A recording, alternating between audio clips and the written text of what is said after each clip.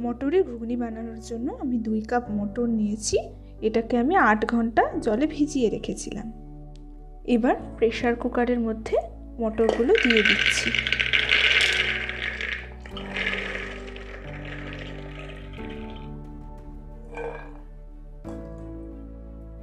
আর এর মধ্যে দিয়ে দেব দুটো আলু, যেটা আমি মাঝখান থেকে কেটে নিয়েছিলাম। এবার এর মধ্যে দিয়ে দেব প্রয়োজন মতন জল।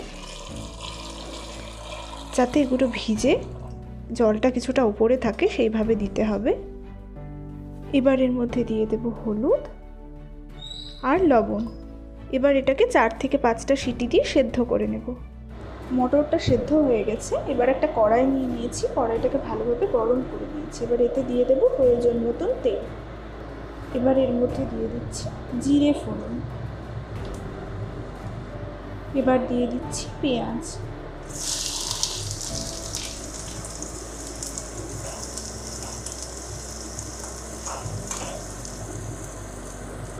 এবার এর মধ্যে দিয়ে দেব আদা রসুনের পেস্টটা।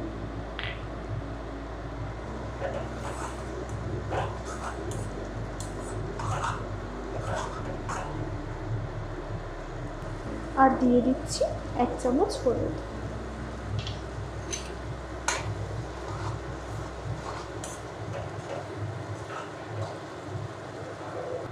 এটা কিছুক্ষণ ভেজে নিয়েছি, এবার এর মধ্যে দিয়ে দিচ্ছি জিরের গুঁড়ো। ধনের গুঁড়ো আর শুকনো লঙ্কার গুঁড়ো।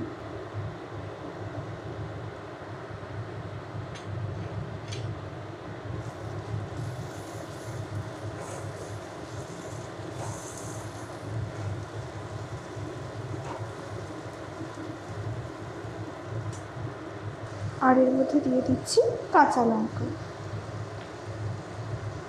এর মধ্যে আমি সামান্য জল দিয়ে দিয়েছি। যাতে মশলাটা পুড়ে না যায় আর ভালোভাবে মশলাটা কষে যায়। মশলাটা ভালোভাবে কষে গেছে, তেলগুলো আলাদা হয়ে যাচ্ছে। এবার এর মধ্যে আলুটা দিয়ে দেব। আলুটা সিদ্ধ করে নেওয়ার পর আমি কিউব করে কেটে নিয়েছিলাম।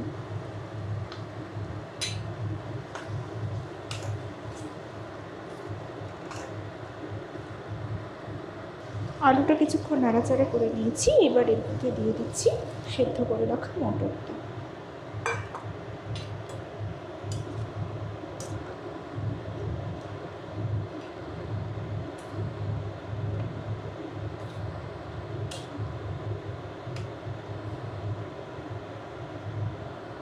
এর মধ্যে দিচ্ছি হাফ কাপ মতো জল।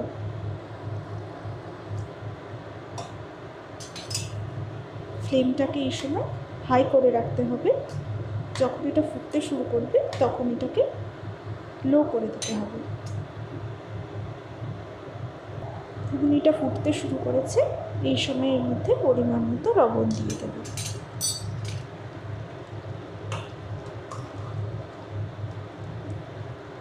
আর ফ্লেমটাকে এই সময় লো করে দিয়ে এটাকে তিন থেকে চার মিনিট মতো ঢেকে দেবো। ঘুগনি তৈরি হয়ে গেছে বন্ধুরা, পরের দিন নতুন ডিশ নিয়ে আবার ফিরে আসব।